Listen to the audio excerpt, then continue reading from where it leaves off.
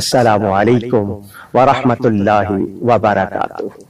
گیارہواں روزہ اور ماہ رمضان کا دوسرا اشرا آج ہم اشرا مغفرت کا پہلا دن منا رہے ہیں۔ آئیے ہم سب مل کر بارگاہ الہی میں دست دعا بلند کرتے ہیں۔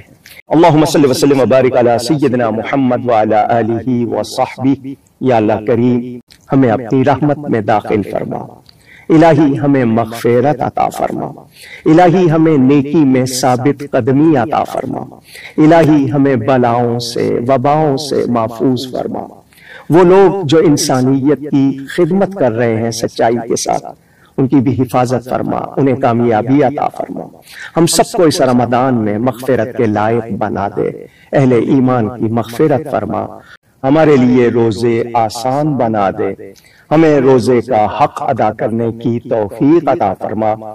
یا اللہ کریم، اس ماہ مواسات میں ہم کو ایک دوسرے سے ہمدردی کرنے، مخلوق کی بھلائی کرنے کی توفیق عطا فرما۔ الہی ہمارے ظاہر اور باطن کو اجلا کر دے۔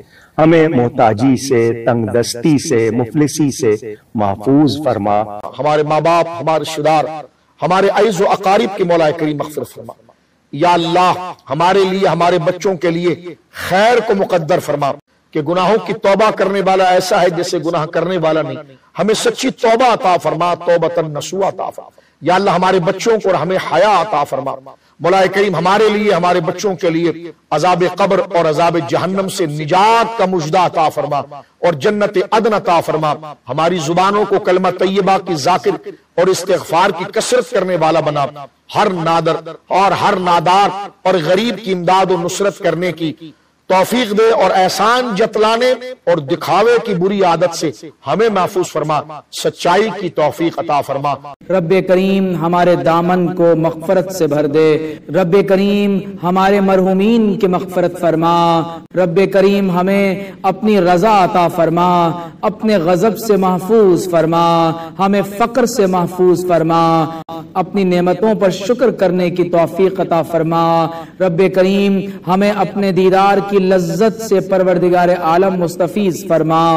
ہمارے دلوں کو ایمان سے مزین فرما، ہمارے لیے اعمال صالحہ کو رب کریم مزین فرما، ہمارے لیے کفر اور فسوق کو رب کریم ناپسند بنا۔ پروردگار عالم، ہمارے دلوں کو تقوی کی دولت سے مالا مال فرما۔